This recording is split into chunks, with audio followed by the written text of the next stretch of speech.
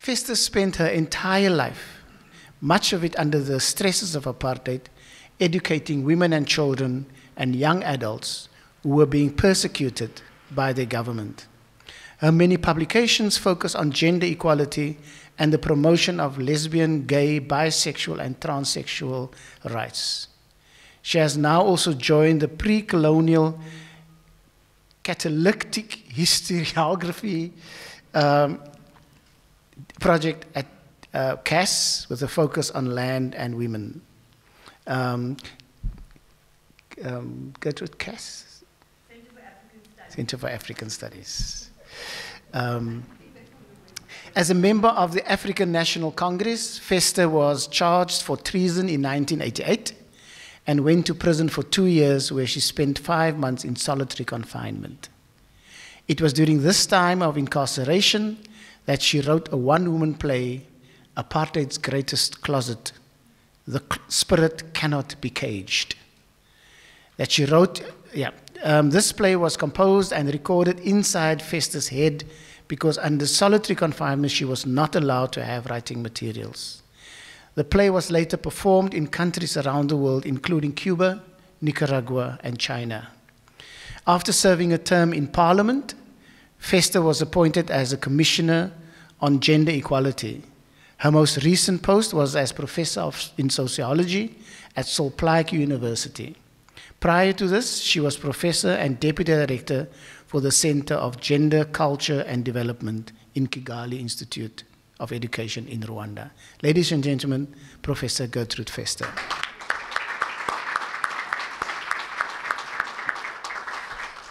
And let me acknowledge all the dignitaries sitting in front of me.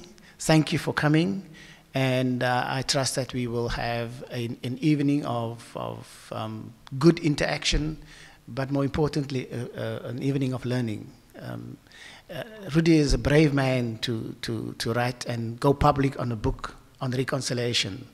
And so, um, and we need to celebrate that. And tonight is all about this book and what it's trying to, to, to, to, to say to us. So I'm going to ask you, Dr. Ramphele, if you would do us the honors and start the conversation with Rudy. Um, I will sit right in front of you, Doctor. I will try and catch your eye um, when you go to, to just hold it. I need to push my chair so I can. Right. Yeah, I can see the corner of my eye. Good evening, ladies and gentlemen. Molweni.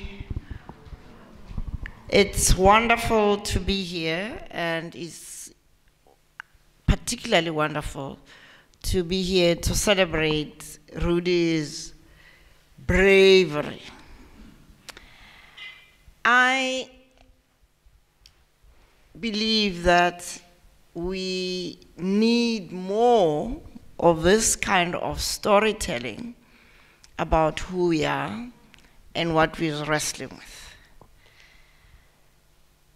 Brug Bouwers is a real courageous narrative about us. And I'm pleased it is written in Afrikaans because Afrikaans is a language that is spoken by a lot more people than we acknowledge.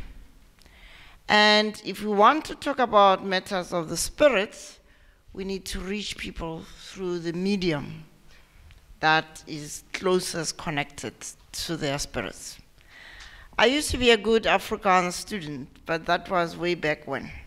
And you know, with language, if you don't use it, you lose it.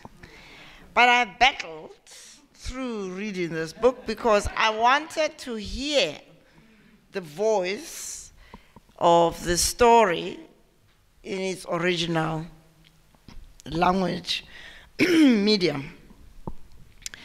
So I'm going to start the conversation with Rudy with one simple question. What made you want to break the conspiracy of silence about who we are.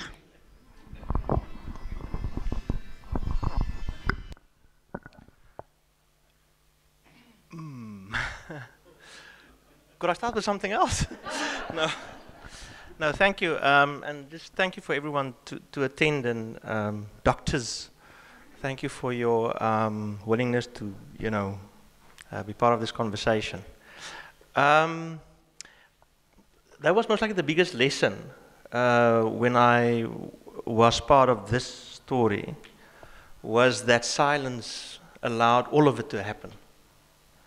Um, and, and therefore, you know, it, it, it got to get out. it's almost as simple as that. Because, um, this, you know, so the, the book tells the story of four students, two black students, two white students, their life stories, their biographies on race, essentially. And one of the key themes in sort of sustaining you know, their own struggles with ignorance was the fact that the world around them went quiet around the fundamental difficulties of the past and race. So that was the one reason is that it, it was right and good and just to break the silence. The second thing was that um, I needed to sort of confront silences in my own life. And what better way to confront them than to speak about them?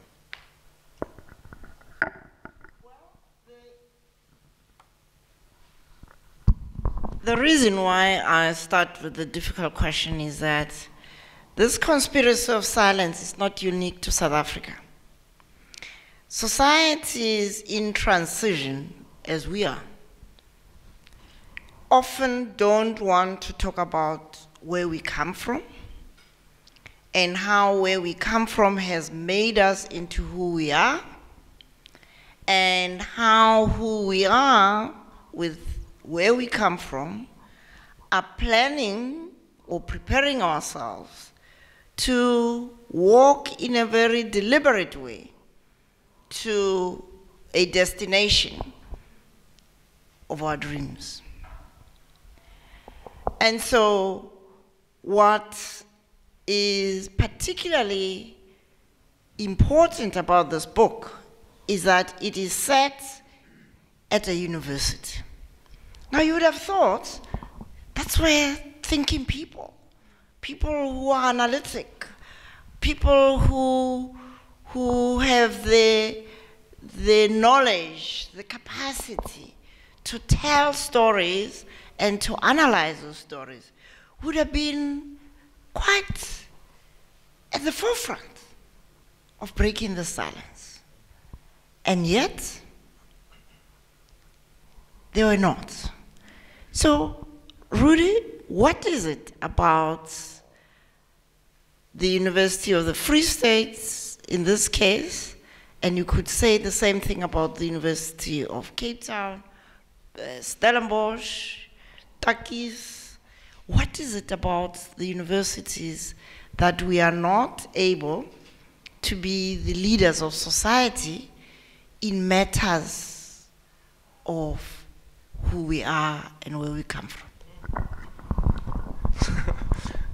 so, um, well, what I, um, so my attempt was to make sense of how this Reitz incident came about.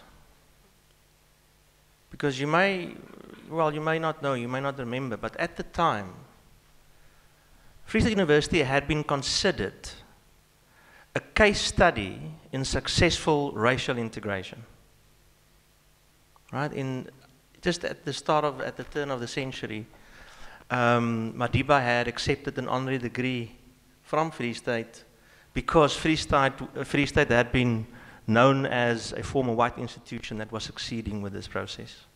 And so when Reitz happened, it just exposed this whole thing. Say, but you know, what's going on, you know, below the surface?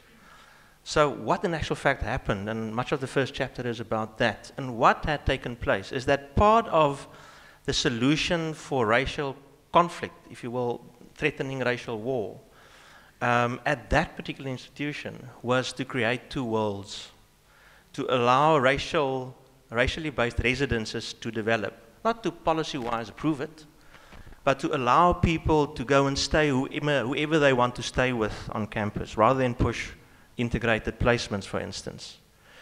There was an allowance for Afrikaans and English classes, so that black students attended black class, uh, English classes, and you know generally, and white students would, would attend Afrikaans classes. The white students would attend the Dutch Reformed student church right next to campus, and black students would travel into town to attend churches.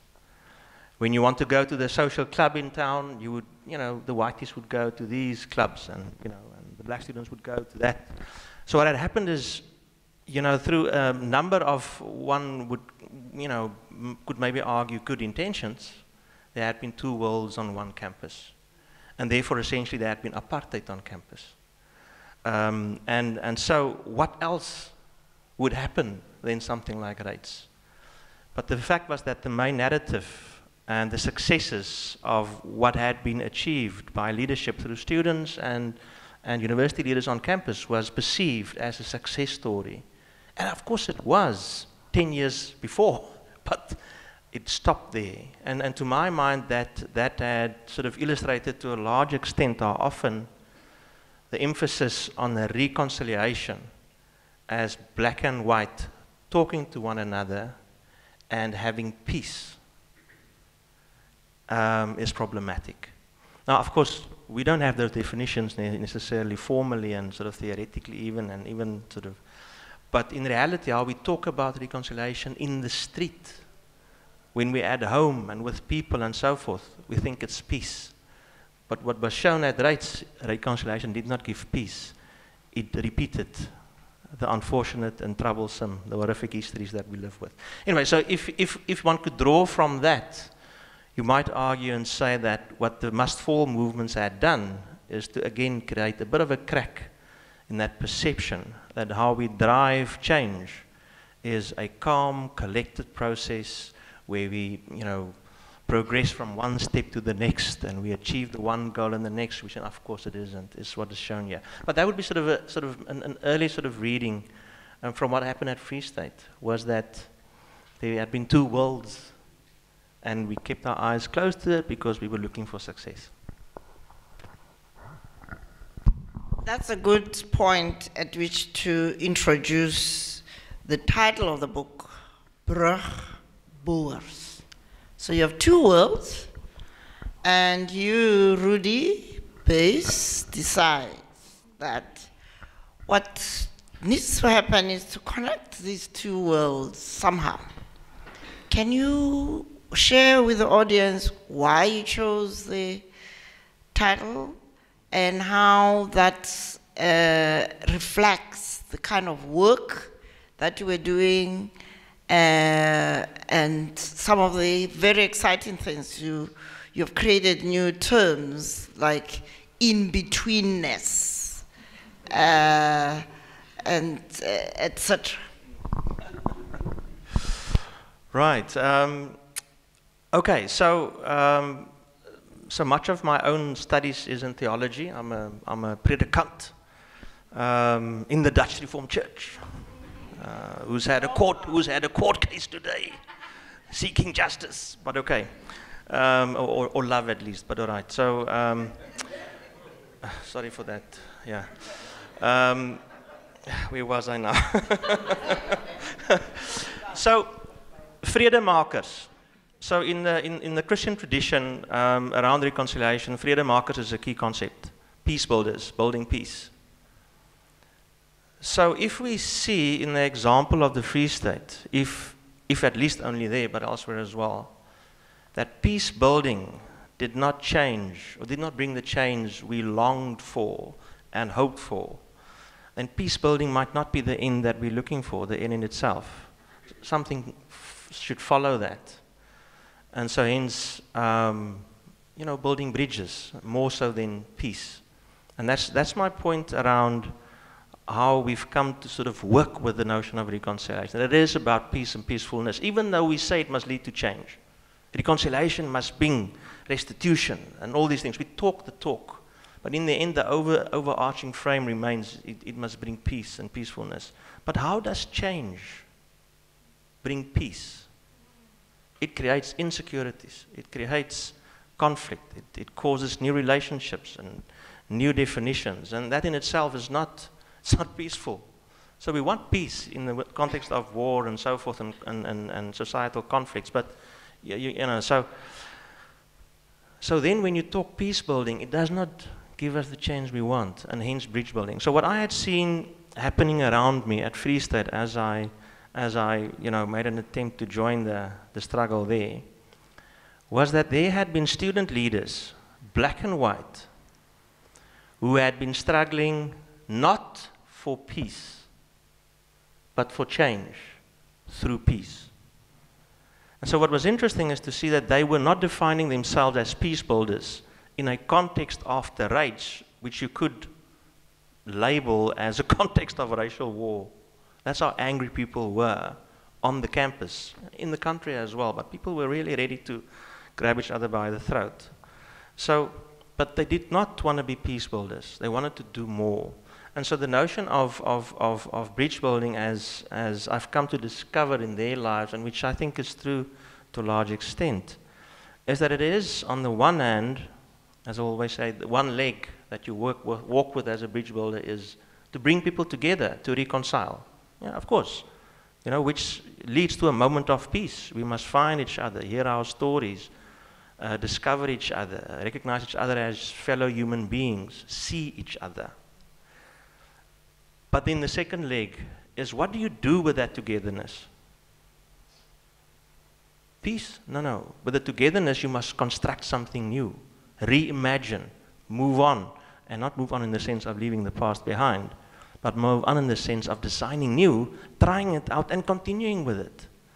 So, um, bridge building, as, as, as I try and explore the idea in the book, has to do with with the combination of recon reconciliation and transformation, or in the Afrikaans, versoening en omvorming, to change everything completely. So um, that's in a sense how we talked about it. And, and, and the, for me, the, one of the most exciting and uh, uh, hopeful discoveries um, in exploring the lives of these four young people um, who were doing this change when they were 21, 22 years old, uh, which is amazing, um, is um, that they held their own heritage, their identities as gained through their home communities, their families, you know, as Afrikaans or Sotho or Venda and so. They did not reject that. They held it. They valued it. But that did not become a limitation for them in building another identity which had them connect with people around them who are very different from them in those very same categories in the history of our country. So what you found, and this was the exciting thing, that they had, they were more than the limitations of the stereotypes of gender and race and all these things. And that more actually matured in their lives over time from a young age. That's why I wrote up the whole biography. From a young age, they actually tried in between things to be both black, do some black things and do some white things, and do some woman things and do some men things, um, you know. As, and so they, they actually struggled with understanding that as children of transition, that they're in between these, these binaries. And that in betweeners wasn't something that happened in a moment and then went away. Was something that built over time. Now, of course, in my view, that's not unique to them as a generation. I would argue that most of us are in between. Our history has taught us to demand something else. But the point being, this is what we learn from them. So the basis for them to be able to be bridge, bridge builders between people and between, you know, the past and where they were at in the future was the fact that they had lived lives of in-betweenness for 15 years of, you know, which is 80% of their lives at the time. So that's how I arrived at that sort of notion. That's a wonderful metaphor. Now, what interests me is that we as a nation are also in between. We are in between where we come from, which we don't talk about, and where we want to go to, but I don't know whether that is shared. And what I believe you are bringing to the fore is the failure of us as families to create the spaces for conversations about these issues. Uh, what, what, given your own life story, which I think you should share with people about your own struggles, with your own, the silences in your own family. And then we'll come back to the silences of the bigger South African family. All right, so of course I'm up for it because I, I'm, I'm up here. So, no, so um, it is, let me, I mean, let's be frank about it. It's tough to open yourself and to share your story openly because you, you, you know.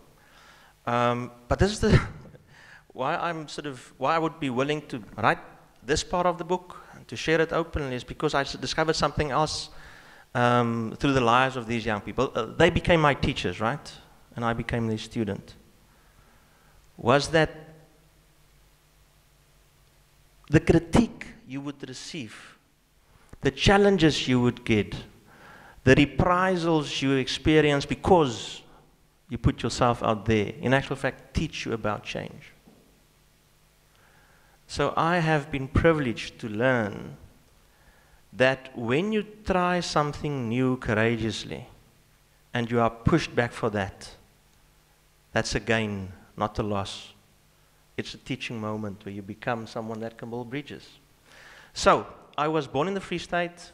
A year after, I was a year old, my parents moved to Namibia. They were missionaries. Um, my parents had their own sort of uh, differences of opinion with the politics of the day. The way they responded was to work in the local black communities um, as teachers, essentially. And, um, and so I had, from a young age, uh, lived, uh, well, I grew up in, in, in black communities. And so I had my first sort of white friend when I went to school um, at, at seven years old.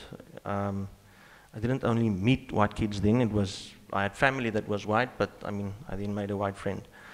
Um, but from that point onwards, my world had been white um, until 1990 when Namibia became independent and suddenly the world shifted to what should be in a sense a normal world. Um, so um, what I had experienced through my life though was to see how my parents, to their credit, and I really I'm very proud of them and I respect them greatly, um, that they had um, done their part, if you will, for justice, for the right thing in the context of the times. So, what that had led me to do, it had led me to believe that I'm part of a good family that had done the right thing in the politics of the day. I wasn't actually proud of that. That's not the point. It was just that we weren't as bad as the rest, you know? was a biggie goed, man. And so I studied, went to study at Stellenbosch, studied a bit of law and then theology. And um, I was then the third generation of, of men in our family to study theology at Stellenbosch. And as I walked down the corridors of the Kweekskool, um, there was the picture of my, of my grandfather, Barend Rudolf Buys, and my father, and, you know, I'm still Barend Rudolf Buys, by the way, family name. My son as well, but my wife, this, you know, is really upset with me wanting to. there. All right. So, um, so I was proud, right? Because I, in my mind, there was a second reason, and that is my father had, um, as part of his own studies in theology and missiology, where, um, you know, we basically, you know, had pulled away from the standard theologies of the, of the time, met with Oom Bey, Wimbai Naudé, and, um, and he had taken a book along for Oom Bey to sign. And so when Bey signs the book and writes in front of the book um, to, you know, Gerard, uh, of my uh, well appreciated former friends, Benny and Jeanette, who's my grandparents. Yes, my dad goes, What?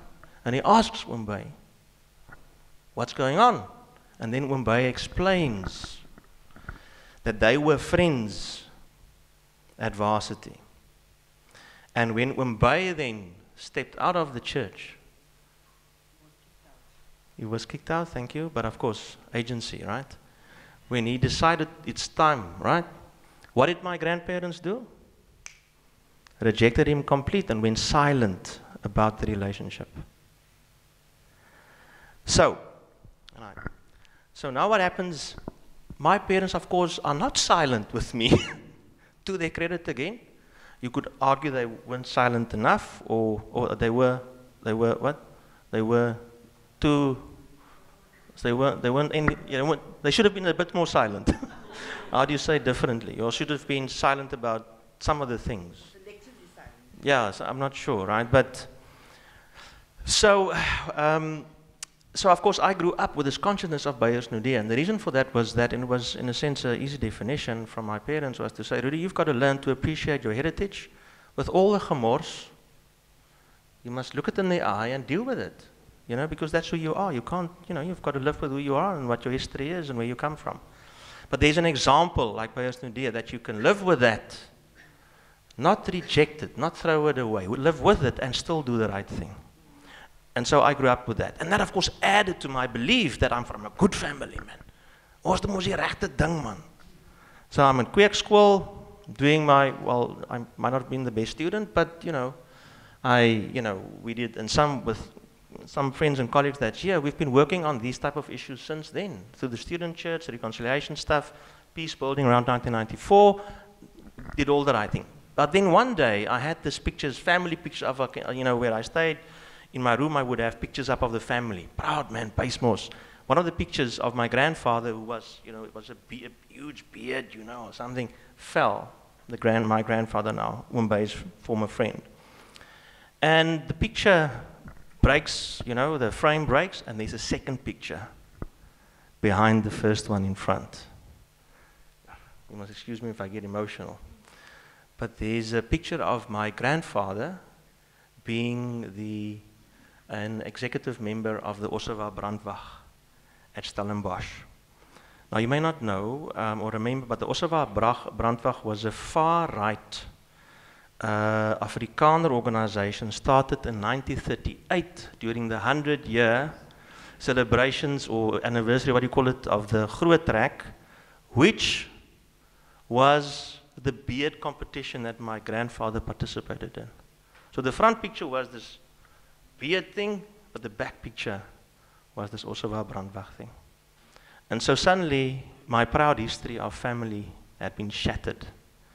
Because suddenly I had a picture, evidence that what I had been proud of over time had been a lie. Of course, it wasn't all a lie. But there had been huge silences around who, who I am and who we are, at least as a family. And so, um, yeah, so I had to face that. And of course, I engaged my father and so forth, and it's been a struggle from that day onwards to, to in a sense, work with that uh, fraught history, uh, which implies huge amount of complicities. And at the same time, also have huge amount of uh, distances from, from the complicities, you know, and so so and, and from that happened then then you know um, it, it was tough enough for me to in actual fact wanted to leave theology. And and and you know um, and so what saved me was the prophetic tradition and so forth where it is about social justice the ecumenics of the church. Um, where it is about you know bringing liberation and freedom to people and so forth.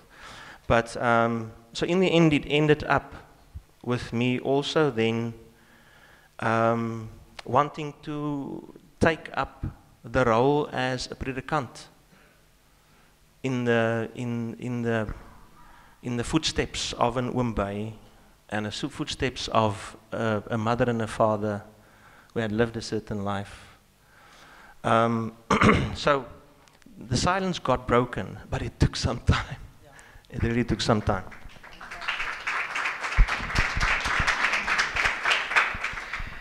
So you were a bridge builder. You are a bridge builder, not only in terms of the work you did at the Kovsies, but also in your family. But just before we leave Oom Bey, tell us about Oom Bey's Tuocha. All right, this is a, now this will be a silence broken, right? And and and um, because this is something very intimate and very close to my heart. Um, with all of the struggle around silence in the family and so, Oom Bey died in, what was the year? Uh, well, when Oom Bey died, I, I um, did not feel free to attend the funeral. Um, and that was before discovering the silences and so forth. And then uh, Tannie Ilse, uh, wife, died. This was 2012, I think. Yeah? Right, at the start of 2012. Um, and, um, and of course, in this process, struggling with this history, I attended the memorial or the funeral. And, and, and I had a sense that somehow, to break the silence, I needed to engage the Naudé family. Our family needed to apologize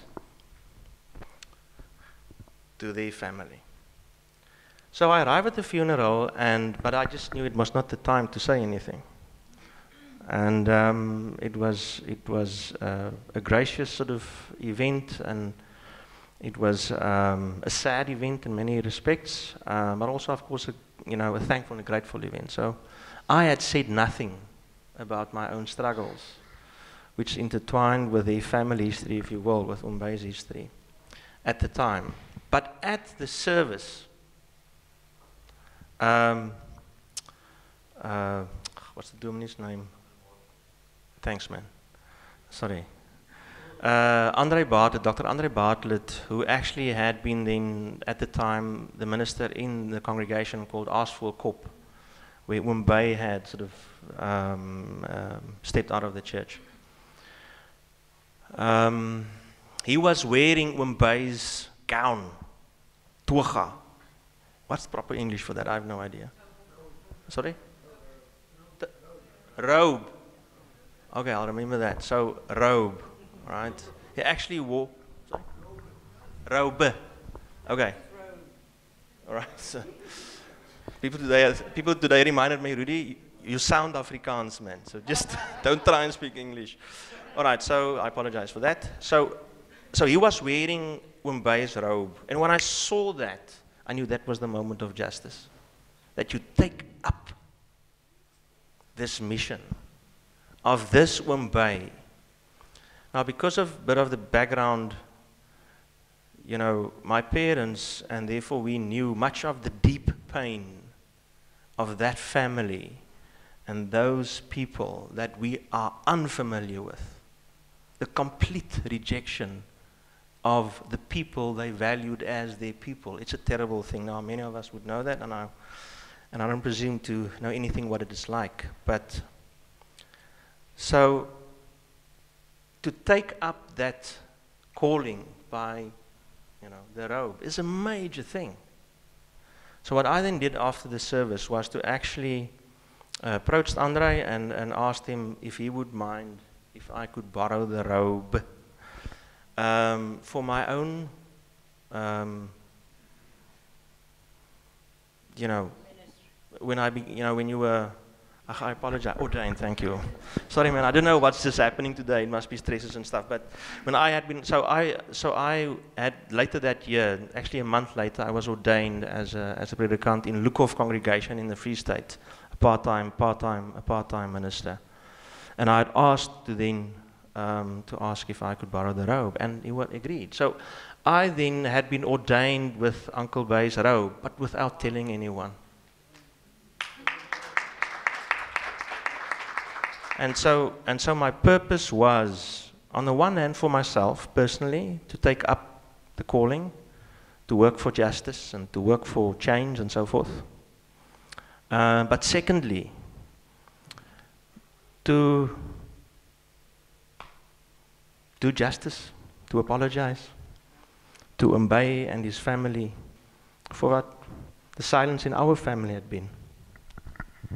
Well, I think that's a real powerful moment, and I'm going to give you a break and take you to the bigger family of South Africa. And I'm going to read you an extract of something that is also our family document that we don't seem to be very proud of showing to ourselves and the rest of the world. Just give me a moment. Tells my age.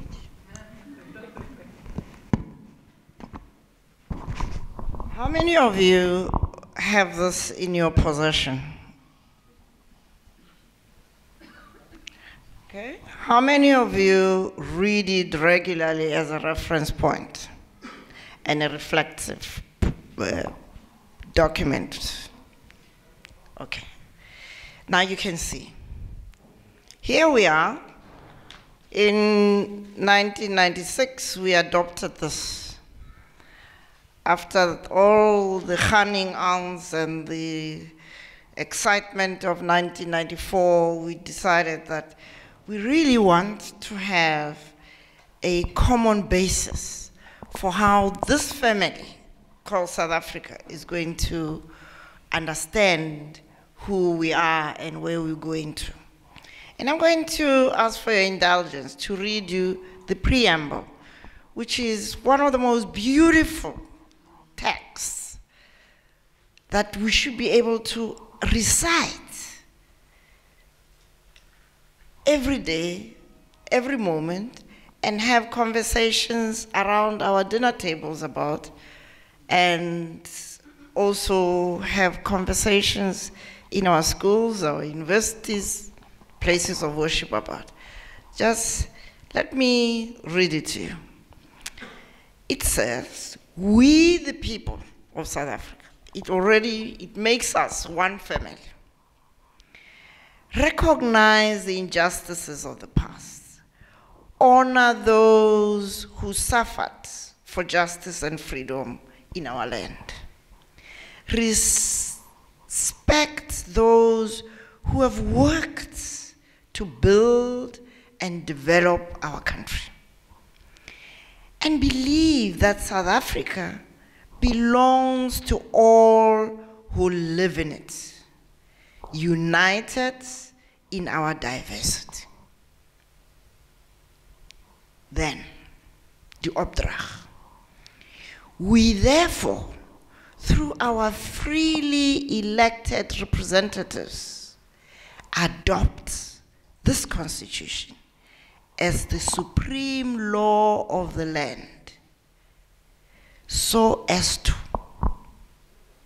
Now, here come the commitments we make. First commitment, and this is relevant to this book heal the divisions of the past.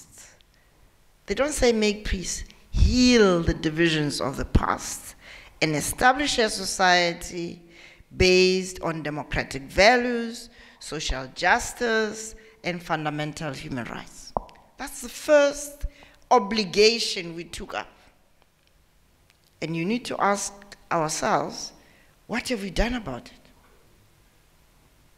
Where's our implementation plan for healing? Second, we said, lay the foundations for a democratic and open society in which government is based on the will of the people and every citizen is equally protected by law. Do we live this? Do we reflect on it? Do we teach our children this?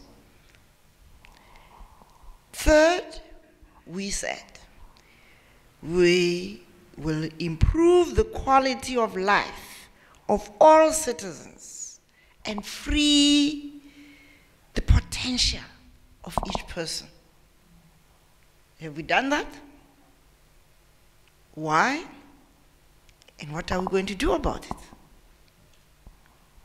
Finally, we said we will build a united and democratic South Africa, able to take its rightful place as a sovereign state in the family of nations. Now, it's all very well when you see the Reitz in Kovsies. Oh, well, those people, you know, how they're so racist, they're so right wing. What about you and I? Have we passed this test that we set for ourselves? And where are the conversations that are going to help us in the healing that's needed. Because one of the central messages of this Brugbouers book is that the first step is just stopping and recognizing the other person and having a conversation. Not stop and figure out what does she look like, what's different, what's no. Recognize their humanity, which is what we said in this little bookie. It's what we will do. So perhaps you should, uh, at this point, open the discussion for the audience to engage with uh, Rudy, but also to engage on these questions of it's all very well to judge the Kovsies people for their shortcomings. Can we also have comments about our own shortcomings in relation to this little bookie? Thank you. Thank you very much. Um, let's give them a round of applause. Before I, I get to you, the audience, um, I'm going to ask Gertrude if you would indulge us for a few minutes just to um, read something that kind of stands out for you um, and maybe make a, a, few comments. And I'll stay up here because it's not going to be. I think I'll start with the comments. Whatever. Whatever works for you. Firstly, thank you, Noel, for phoning me at, at 2 o'clock today and to ask me about this. But of course, I said yes. Is it on? Okay. It's on, yeah. Oh, it's, it's not connected. Because I, I know Rudy, and we as NG Kerkies, we have a particular history. And then, of course, the whole issue of reconciliation. And um, I also have an agenda. So, on that basis, so for the 30 minutes I had this book in my hand, there were a couple of things that I need to comment on, and just to say it's a very brave book. I think it was also very, it was very educational and shocking, the bits that I've read. I didn't realize the depths of the patriarchy, the power of men, the power of Afrikaner men, the power of young Afrikaner men in this uh, ontgroening, in the uh, initiation ceremonies. I read it, I was shocked. I was shocked at the culture of the residences. So for me, it was a, a, a real eye opener. But, what, but, but the themes that came out with the, with the, the power of men, I mean, really, and then all the things that go with it the culture of the residents, and when more black students came, how there was a contestation of cultures in the residences and the hegemonic culture. So it was, it was really quite shocking, but very important. And I also think Noel, uh, Rudy, Mampela, Henk, I think we need more of these dialogues. And I think that we really can use a book like this as a starting point, or rather continue, okay? Then that's the one thing. I also want to emphasize the issue of this, the, the culture of the seniors versus juniors in the. It, it, was, it was just totally overwhelming. I think that even though that happened in 2007, we still have the incidences of people trying to bury them in the coffin. I think we, we are shocked at the fact that a woman who'd 43 times in a few minutes used the K word. And the question is we've had 10 years of the TRC.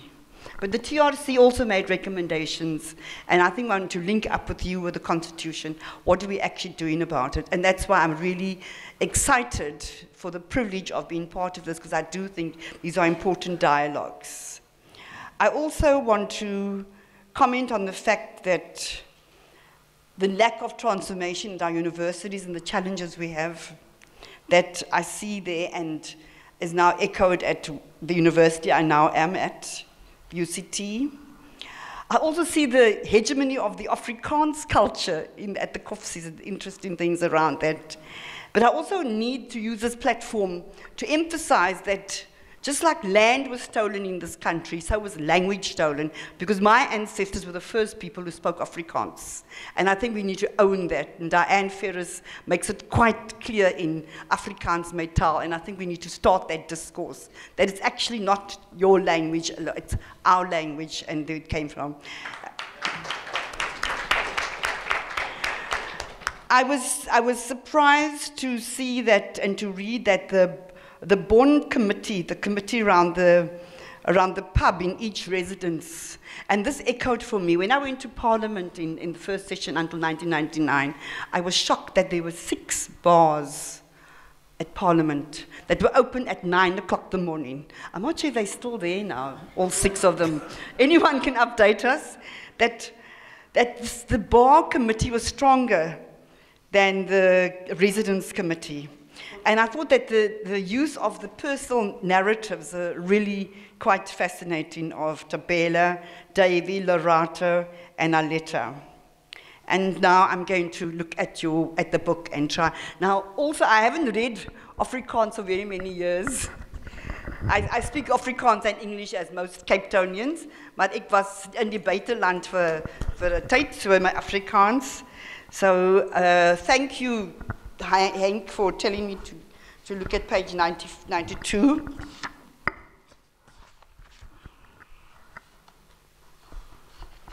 And this is about Lorato. She says here, jy moenie toelaat dat jou omstandighede jou definieer nie, maar skryf jou eie geskiedenis en leef jou eie lewe. I don't think we need to translate, do we? Moenie die prys betaal vir wat in die verlede gebeur het nie. Want die mense wat toegelewe het, het reeds daarvoor betaal. Moenie 'n lewe van bitterheid leef wat jy nie eers weet waar dit vandaan kom nie. Dit was haar, dit was Lorato se argument. And I think that if are talking about reconciliation, I do think that we need to take issue with this comment because I think that we need to acknowledge the past in some way. How do we do it? It's through dialogue. And I shared earlier with them that I had dialogues when I was at Sol Plaatje University. Now, those of you who don't know, it's a new university in the, in the Northern Cape. And uh, I managed to have dialogues with, from the uh, Orania communities to the communities in Old, and they actually to dialogue around land. It was uh, not as not as successful as I wanted to, but I think the fact that they just were there in one room was also a start. And as Center for African Studies, we're also going to have a dialogue at the end of the year. Uh, Lorata says, om te bou was nou deel van Lorata se toekomsdrome, want sy wou mense wys hoe besonder en maklik dit is om oor grense te beweeg en diverse vriende te maak en verskillende ervarings op te soek. But she was also accused of being a coconut. And it's a very dangerous and sensitive word in our, in our community and in our, colored, in our current discourse, and we know all about it. Sy het nou geroepe gevoel om veral swart mense te help om hulle nie deur omstandighede te laat definieer nie, maar ook wit mense vir wie die ewe waar was. Sy was op die punt in haar eie lewe waar sy wou dien, sy wou onderrig verskaf en ander mense help om steeds sterk en onafhanklik te werk te word jammer. Nie net vroue nie, maar mans ook, denkers en mense wat bereid is om regtig net hulle eie geskiedenis te skep. Lerato het haarself ten volle as 'n brugbouer geag. And yes, even though I may not agree with everything Lorato says, I think the fact that that story is there is a starting point. And maybe through the dialogues, whatever it is, and I think I'm again looking at your direction and I'm looking at Noel wherever he is, that How do we actually use this? And I think what an interesting chapter I also thought, of course, I was intrigued by the fact that this book, the first chapter was called Um, um, um, and it also ends towards the end another chapter. Now, I wish I'm going to read it, you know, dying to get to read it. He also talks about seven lesse vir verandering. En die eerste een wat hy sê is biografie as 'n manier om sin te maak van die lewens. How maybe telling our own stories can help us to make sense. Die eerste les. Wit en swart was meer eenders as anders. And I think it's only through dialogue we will discover that we actually have more things in common.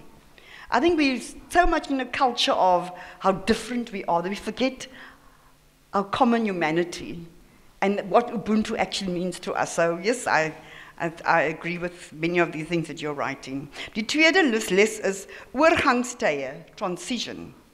Oorgangstye het hulle lewens en denke omvergewerp. So the challenges of transition and the change. Die derde les. Hulle moes eers hul eie onkunde ontdek voor hulle leiding kom neem. First discover your own ignorance around it. Die vierde les, omarming en afrekening was brood nodig. To embrace it and to maybe deal and confront issues are really important. Die vyfde les, 'n chaotiese en verwarrende proses. Ja, daar gaan seker baie tye wees wat ons nie saam gaan stem nie, where we're confused, where we're overwhelmed, emotionally it will be so much and it will take a lot out of us.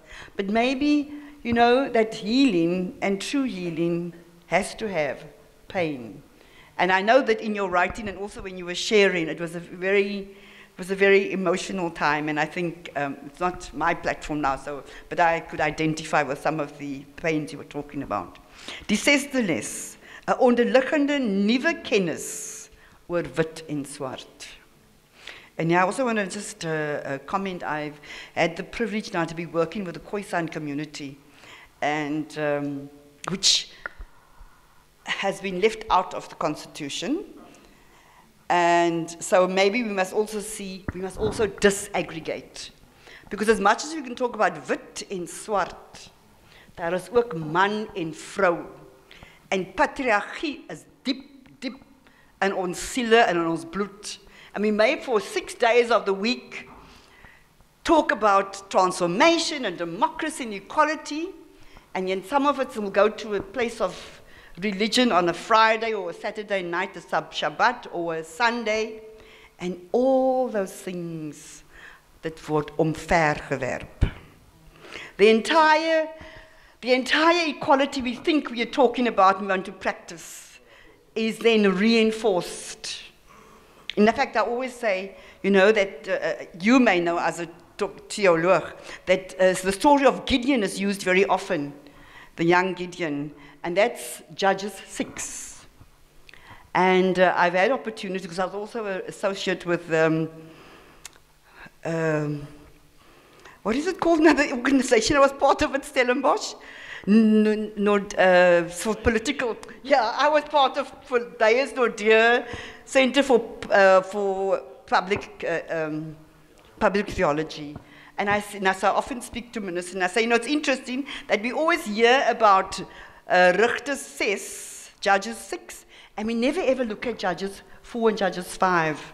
Judges 4 and Judges 5 it's about, for those of you who know, about Deborah, the, the prophetess who led the army, and the man who wouldn't go to the army unless she actually was there. And then also um, Yael, who killed the leader of the Philistines or Lovinus.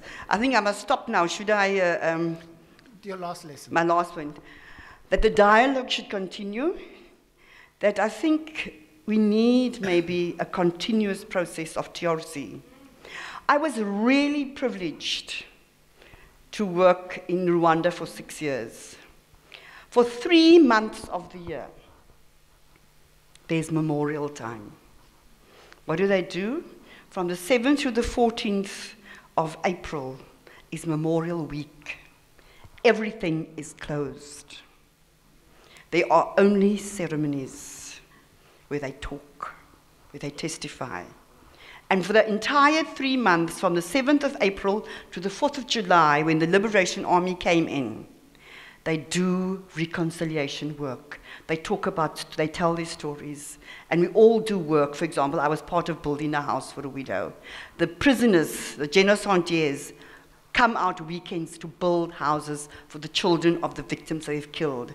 So it's a really a challenge for us in some way to learn from a country like Rwanda, where transformation and reconciliation is not just a slogan or a rhetoric, but rather something practical, and they live it.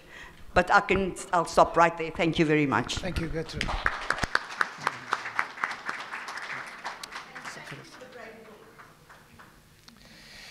Um, Ladies and gentlemen, I'm going to open the floor now for comments, questions. Uh, can I can I please ask for help? um, can I please ask that um, you know to, to give as many people as possible an opportunity to, to ask a question or make a comment, that you try and be as brief as possible. The book has been written. It, it, you know, and we know that now because some of us have a copy. So please don't rewrite the book. Um, let's have your question or your comment, and um, we'll take four, four at, the, at a time. Yes, uh, I, see, I recognize you. It's second hand here. Okay, let's go with the two of you. There's three one and the fourth one in, in the middle. Thank you. Um, Mr. Buys, I am fascinated about the doctors the Dutch Reformed Church created. I know that the Free State where you grew up was actually just the gateway for people from Turkey to enter South Africa. And the fact that you are a product of the father, one of the fathers of the white Christmas, uh, maybe um, the WC could also be the toilet. Um, so my question, I'm a bit disappointed that Gertrude didn't ask something in this line, but my question is with regards to the LGBTI community within the Dutch Reformed Church. I've zoomed in a couple of years ago when I uh, try to solve some murder cases within the Dutch Reformed Church um, with regards to property theft, where people in those kind of relationships would end up six feet under. I never read your book, but uh, do you touch on this subject within your book? And also, um, you, uh, Gertrude, spoke about Wambesa Tuaha. I was just wondering, are we talking of the Toga son? Thank you.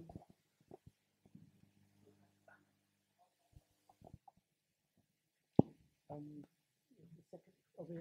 Okay, we, we'll, we'll take that for that person. I'll come to you. Uh, thank you, Rudy. Uh, good evening. Mine is more of post the idea of unveiling the silence. Where do we return to the moral obligation? And yourself as a theologian, and I think a year ago we had um, Dr. Allan Boesak visiting us and with Black consciousness, we talk of the Black Messiah. And that was the great question, even with cornerstone as the institute here, that where is Black theology? Where is the moral obligation that, in essence, those who give the hand of reconciliation are seeking and have been seeking as a way that our salvation is the same if we speak on the Christianity paradigm. Our God is the same. Where is your moral obligation? Because we can unveil history, but what do we do with history? When we are angry, and we can tell people it's fine to be angry, but what do we do? And then where is moral obligation when we have people who have a constitution they don't use? People who remain avatars, people who troll other people when things about this country have to be discussed, people who kill people who are breaking silences. Are we really honestly ready? Because that level of moral obligation and equality is something that we must commit to before we think we're going to see results. And hence, it's a comment. And hence, the friction of change is insoluble.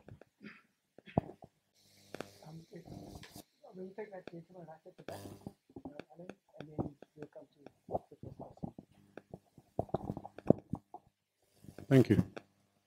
Um, yeah, I'm I'm very struck by the fact that you're working with men mostly. And Gertrude's comment about men and the power of men is, I think, extraordinarily important. I thought I was a reasonable man until about three years ago. I realized just how unreasonable I was. And so my question is, is there not, in a sense, far more, far more in-depth work to be done around bringing up boys the correct way than even to address the racial issues? Okay, we'll take the fourth one and then we'll ask you to comment. Should I take that?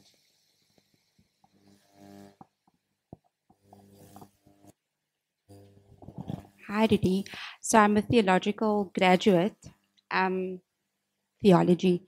So I'm going to try and be brief, Stan, because I've just got all these notes that I've written down. But it's really, I mean, tangibly, one could feel your pain um, and your woundedness from the white side. And so I was here previously when Allan Boesak was there. So it was somewhat refreshing to see the pain from, from the white side of the fence. Um, but people, people are, are wounded, um, both white and black, and we are in pain. And there is definitely, I think it's critical that more of these conversations happen. And so when Gertrude spoke about the TRC, I was like, whatever. It, it, it, it was really just um, a drop in the ocean. So currently today, waking up, today feels like 1994. 1994 to me was a false equilibrium. And there's something that you said about, about change. Change doesn't often bring peace. And so I'm asking, is the change, is this violence that we are experiencing now, um, it feels like war.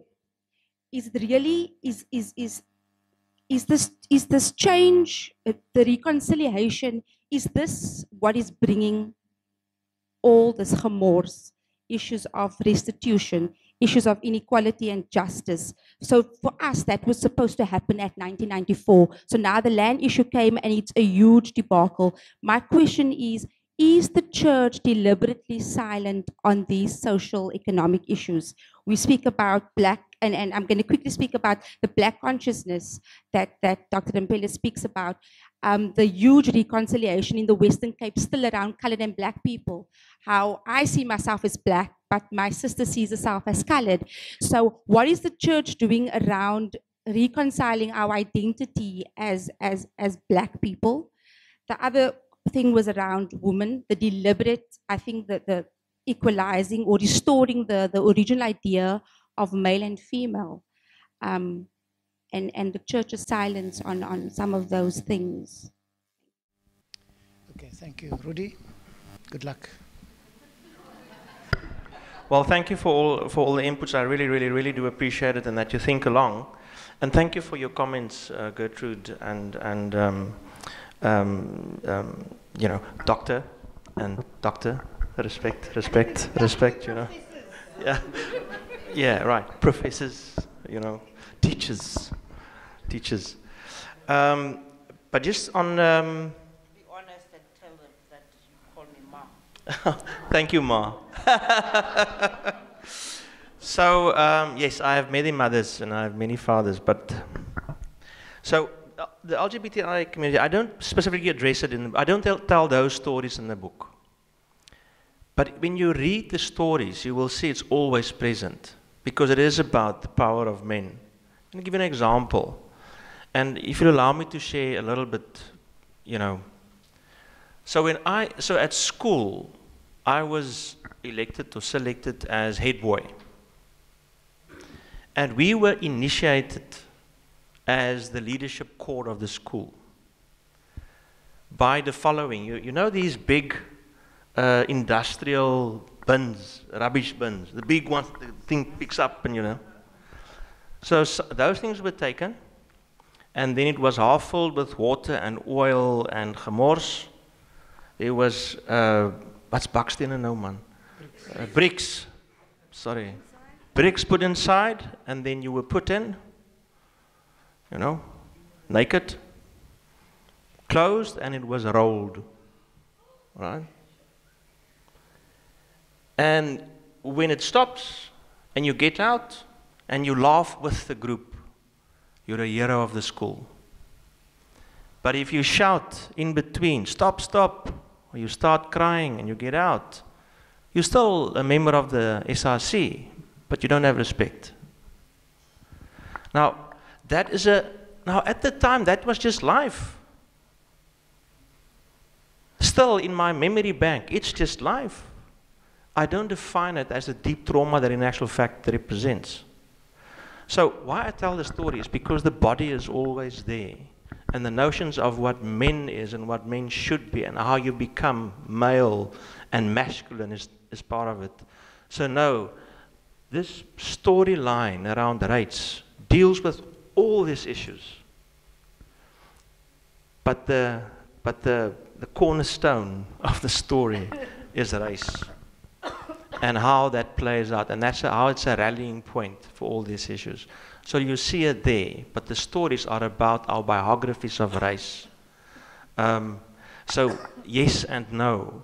Um, the idea is not to tell everything, uh, not to touch on everything, not to speak to everything, but to get the conversation going for us to tell our stories, to have the courage to do that. So, the second one, just on um, uh, where will we now? Oh, right. So the moral obligation, right? The question around, you know, where the churches at least would be in terms of, in terms of the question, what are the church in actual fact doing?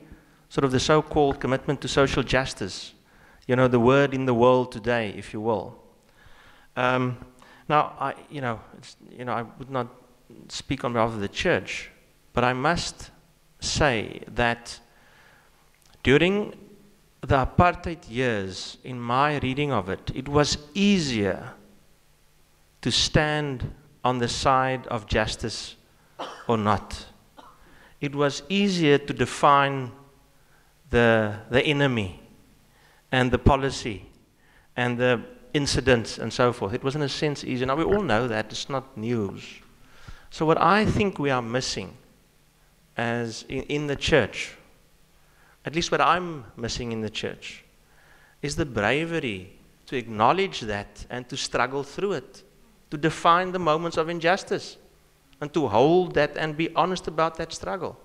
So, the case of, of, of the Dutch Reformed Church today um, um, around sort of gay identity and gay relationships and love and so, in actual fact, it's about that struggle and, and defining where the injustice is. Now, the struggle is that, you know, an organization, an institute, a structure would respond to what its members, in a sense, or what it thinks its members believes. And so, to my mind, the push in actual fact, the question of moral obligation is not for the church as a structure, it's for us as members. What are we pushing for? And that's not necessarily true for the church only. It's, in a sense, the citizens' argument is that in reality we've left it to the organizations and, and our representatives. So I know I'm not answering, but I'm, in a sense, attempting to reflect what my thinking and my question, my own struggles at the moment. Um, so um, this is one more, one, one, this is one other thing I wanted to say, and I'll, I'll, be, I'll be quick, Stan. Just something in the lives of these students that I think is important for us to, to take note of, whether you read the book or not. Remember this one. They had two experiences as they struggled with race.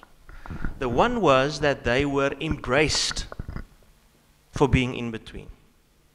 So when they when they coconuts or when they uh, uh, I apologize for the word kafferboeties. All right? When they, when they called that, they are at the same time rejected by their home communities, but they pushed into a new community, a community of in betweeners. We don't see that. They didn't see it. But when the Times asked for bridge builders, they had lived lives of in betweeners because they were punished for being in between and they were, they were sometimes embraced for doing new things in between us. So, what you find is, is both the embrace and both the reprisal taught them to build bridges. Not only the embrace and not only the reprisal. And so in the book I make the argument that the embrace, die omarming en die afrekening, the reprisal, in actual fact are protesting colleagues and collaborators in creating bridge builders. What we don't do well is to, to recognize in ourselves our in-betweenness and pull on the embrace and pull on the reprisal and then lead for change. So sorry for going on. And just the one last thing on the, on the power of men. Um, and sort of gender and, and boys and so forth. I'm absolutely privileged to be the parent of a young boy. His name's Brent. Um, and what I'm really lucky with, he's got a brilliant, you know, an angel mother who's not here. And why I say that is that I've realized that for me to be a good father, I need to be a mother taught by his mother. So I, I can only agree with you. But I think the work is for, you know, for men such as myself, for fathers, to learn to be taught by mothers. Not their mothers, their wives, their sisters, their daughters, their, you know, who are all mothers teaching men. um, but I really believe that, you know. So, uh, so, uh, so uh, a young, I really believe a young um, girl, a daughter, will teach a father about what it means to be, to live life meaningfully.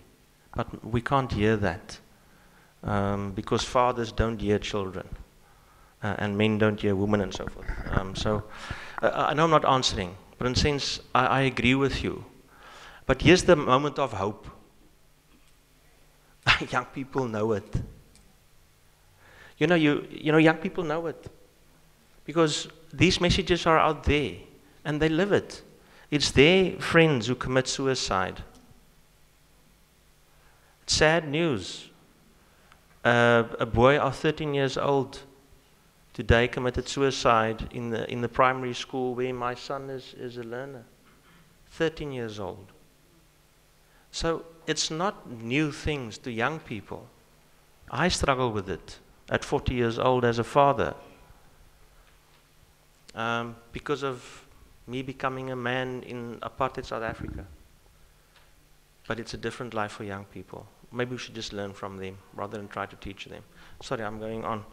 Um, and then there's the last, and this is my last comment. Sorry, Stan. You, you know, there's, there's, there's, there's, there's, there's, there's, I wanted to say there's three things, and this is the last thing I really want to say, and is You know, to build bridges is about who you are, and that is in between us. It is about how you know, not what you know, how you know. And that is about transitions, a transitional society. And then it is about what you do and how you do, which is about standing in between and building the bridges. And people do it. We all have those moments. We need to galvanize them. Sorry for going on. Have you been covered? No. No, she will speak for herself. Have you been covered? Okay, thank you. Um, I'm watching the time, and, and let me put it this way. If you are going to complete, be completely unfulfilled if you don't make your point now, there's always one or two people who need to speak. And if you're one of those people that if you don't ask your question or make your point, I will give occasion for two people to give to make some input. Ask a question or make a brief comment.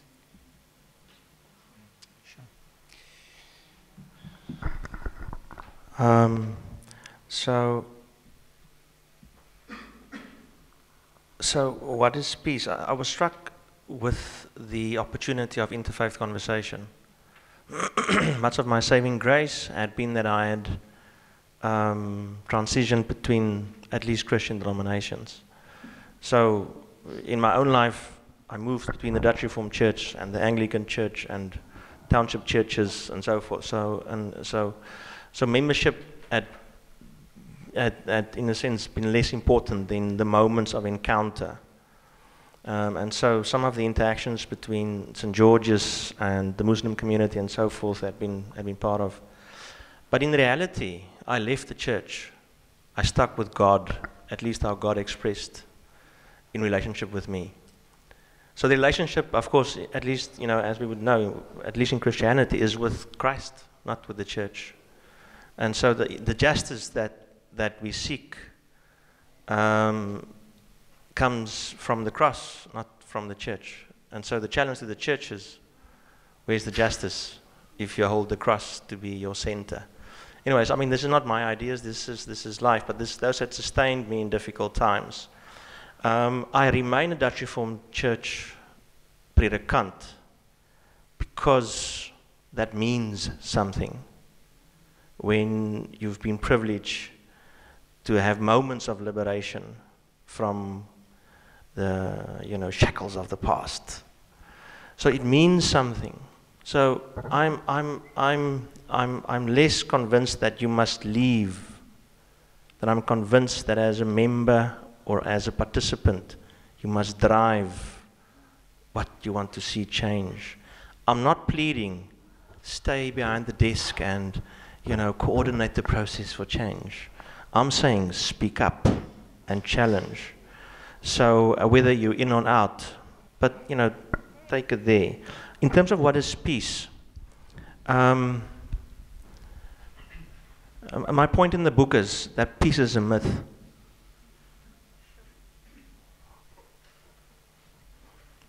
So what we, when we use this, the, when, we when, we, when we call it the struggle for peace, we, we use that language in the context of a real threat of war and not a psychological war. Yes, of course, that as well. But people wanting to kill each other and having killed each other and having lived those lives. But that has transitioned into us, in my view, misunderstanding that to be peaceful and to engage in a way that shows dignity, you know, respect and honors dignity of people's and people's lives, that that, that is that they would have peace. In my view, it's not the case. So, in my view, what we struggle with at the moment in the country, around the land issue, for instance, it's not new. We've not had peace. We've just called it peace, but it was not peace. And so now we're surprised? No, of course, none of us are surprised. In reality, we've not had. So I, I apologize if I disrupt anyone's notions of where we're going with peace. But I do think the way we talk about it creates the myth of what we can achieve. So, you know, yes, I don't want peace. I want a dignified, peaceful engagement that challenges what we've got to change, but, but not the peace that we normally talk about. Um, and then just the last one on, um, on confession. I really appreciate your comments, and I get the struggle of looking for voices that can at least somehow show you somewhat of um, how to do things different and how to live an authentic life for where we're at today. But if I, I really want to, uh, I'm, I'm really sort of angry at myself. For many years, looking at the leaders of institutions and wanting to be one myself and then becoming one. Um, and so then in actual fact not driving the change myself. So the point I want to make is I know it'll be it's it's it's a warm embrace when there's people that had lived the life and that you can draw examples from. It's it's really encouraging and embracing when leaders in organizations, whether church, politics, business, wherever else, do the right thing. It's, it's encouraging. Great. But the problem with that is, I step away from my agency and my capacity at reimagining what my life will be for good principle, for the, you know, ethics of a constitution, to reimagine what our communities and our society can be, and then driving that. So I rather critique the leaders from the side. And, and the point is, you know, if I drive something with, with fellow citizens, political parties, verander hulle dinkie. How's that in English now? Change their song? Is that? Tune. Tune. Change their uh, tune, yeah, sure, sorry. Change their tune. When church members are prepared to go to court, then a church changes its song, uh, its tune. You know? So it is really about what you want to do. And I'm not blaming individualism. I'm just saying, you can't be a citizen of our democracy and think you can't do anything. Now, of course, we don't have to be superhuman. That's not the point. I'm just saying where I'm at. I do what I can with what I have to change and reimagine a society. So stop worrying about organizations. What do you do? So the confession that is good enough is when you walk across the street and you do a confession with your friend from across the road right there and then. No one has to know about that. And that's the tough part. No one will know about it, mostly. And it's a tough thing if you want to build bridges because no one knows. You know? No one will hear your confession, but the people you confess to and that's why, and, and that's why, and I, and I, I, I feel in a sense, um, it's tough for me to share from my life, right? But the point for me was the apology was of my grandfather to Oom Bey and my family to the Naudé family. Because it's our immediate environment, it's real, it's intimate. So when the time comes, as I have had to do, I would apologize as a white male on behalf of white people, white men. And the time comes and you must do that. But you can't wait for that. The confessions are in the intimate moments immediate. I know you know that. I'm just, I'm just, you know, reminding you of it. So, thank you.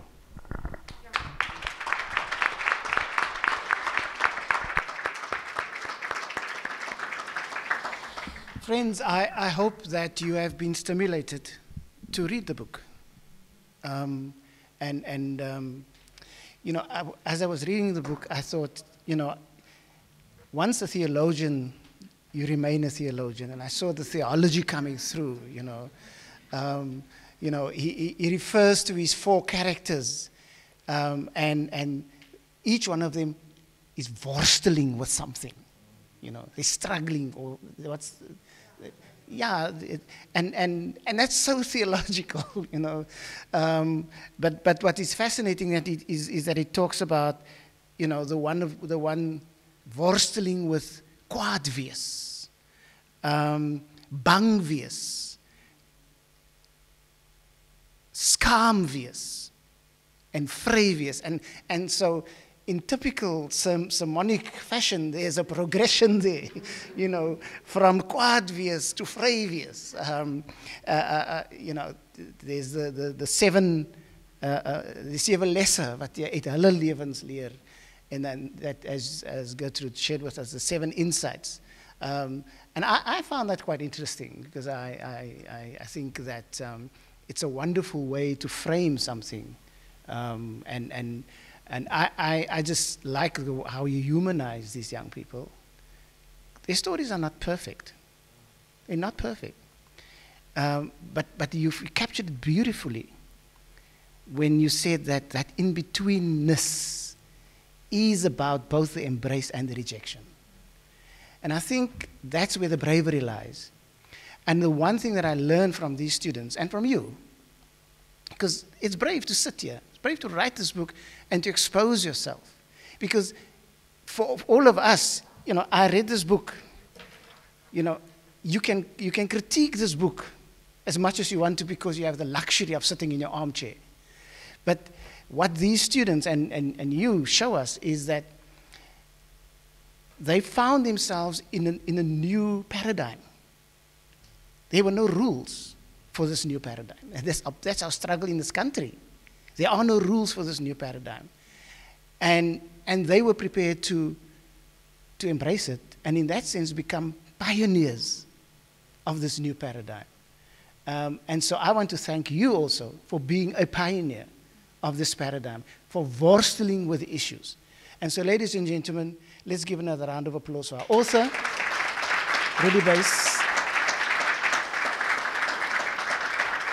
and our two professorial respondents, Professor Ramphele and Gertrude Fester.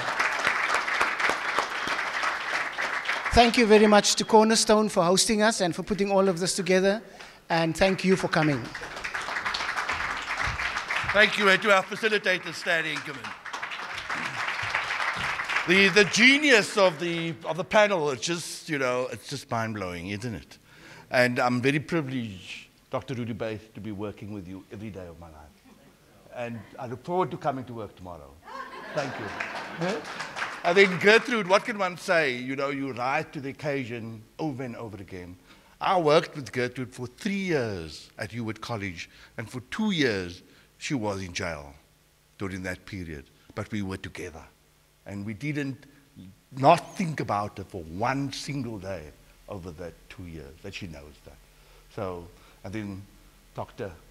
Mama, friend, sister, inspirer, the sheer genius that you bring the quality of the questions, what you've done here this evening, what you've opened up, I stand in respect for the work that you do. Thank you so much.